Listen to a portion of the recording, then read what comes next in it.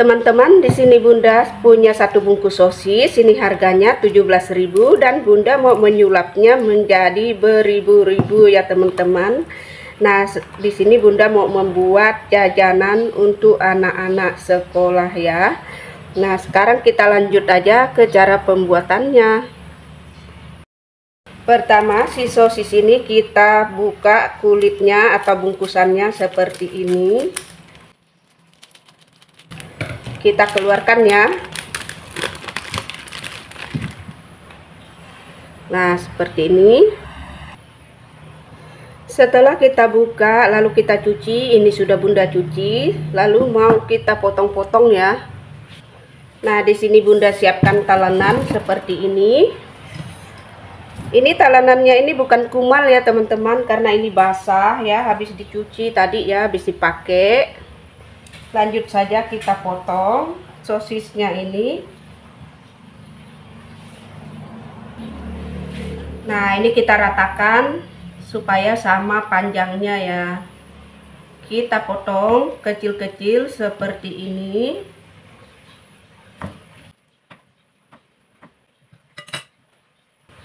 Kita lakukan hal yang sama sampai semua bahan selesai ya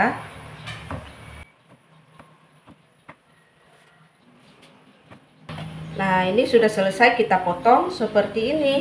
Lalu kita sisihkan. Kita simpan di wadah. Oke sekarang kita ke langkah berikutnya. Lalu ini bunda tambahkan satu butir kuning telur. Satu sendok makan muncung tepung tepung terigu ya lalu kita aduk-aduk. Di sini bunda gunakan tangan seperti ini. Ini tangannya sudah bersih sudah higienis. Ini kita aduk-aduk sampai semua bahan tercampur merata. Nah kalau sudah tercampur rata seperti ini sekarang kita ke langkah berikutnya ya Nah, di sini Bunda sudah siapkan wajan atau kuali yang sudah dipanaskan seperti ini. Lalu kita tuangkan minyak secukupnya untuk menggoreng sosisnya ya. Nah, ini minyaknya sudah panas seperti ini. Lalu kita tuangkan ini sosisnya. Kita goreng separuh dulu ya, supaya tidak nempel-nempel ya.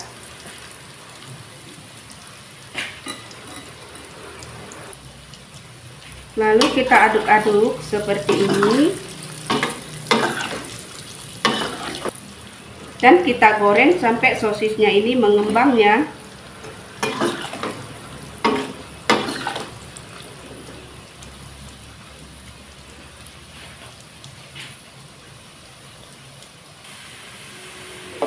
Nah ini sosisnya ini sudah mengembang seperti ini. Ini harus kita aduk-aduk terus ya teman-teman supaya sosisnya ini tidak meledak ya. Atau tidak pecah. Nah, kita aduk-aduk seperti ini sampai benar-benar sosisnya ini matang dan tepungnya itu uh, menjadi gurih eh crispy ya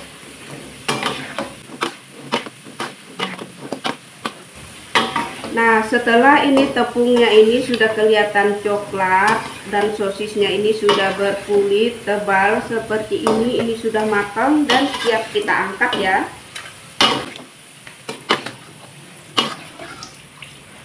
Oke sekarang kita tiriskan dan kita lanjut menggoreng ya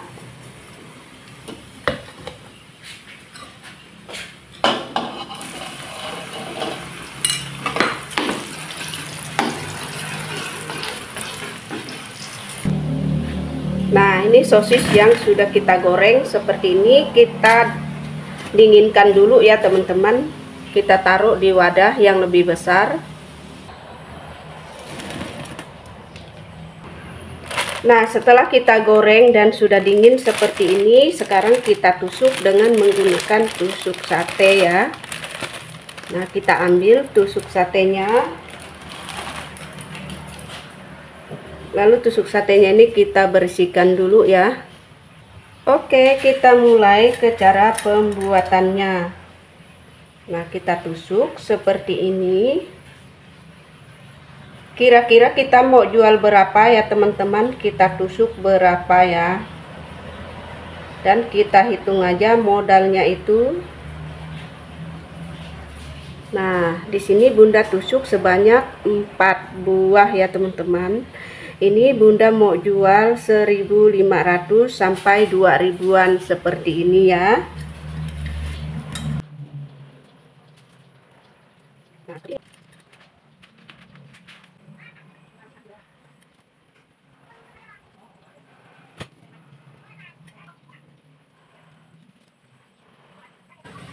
Nah ini sudah selesai.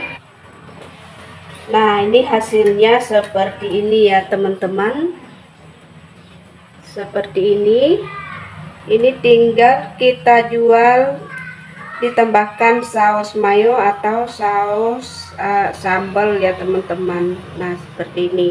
Ini mau kita bungkus pakai plastik mika juga boleh dan kita langsung pakai plastik OPP untuk menjualnya juga boleh ini dalam satu bungkus itu satu bungkus harganya 17.000 di sini bunda mendapatkan atau menghasilkan eh, 19 tusuk. Dan kalau mau menjualnya kita tinggal sesuaikan dengan harga masing-masing di suatu daerah ya. Oke ini masih ada sisa dua Nah, kalau untuk yang makan di tempat, di sini Bunda sudah siapkan piring yang kecil seperti ini. Nah, tinggal kita sajikan seperti ini ya teman-teman untuk pelanggan kita yang makan di tempat. Tinggal kita tambahkan saus sambal seperti ini. Nah, juga saus mayonya ya. Hmm, ini pasti mantap banget teman-teman dan jajanan ini mau bunda namakan sosis tusuk. Nah ini sosis tusuknya sudah matang. Eh sudah selesai kita buat. Seperti ini ya. Ini benaran enak banget mantap. Nah seperti ini ya penyajiannya ya. Ini tinggal kita bawa ke warung teman-teman. Hmm seperti ini ya Oke, terima kasih yang sudah menonton. Semoga videonya ini bermanfaat dan semoga dapat menginspirasi teman-teman semua untuk berjualan. Ini mantep banget, pasti laris bang, laris banget. Dan ini Bunda sudah coba sendiri ya. Ini boleh dititip di kantin sekolah ataupun di gerobak boleh kita bawa gerobak ya. Oke. Thank you for watching ya.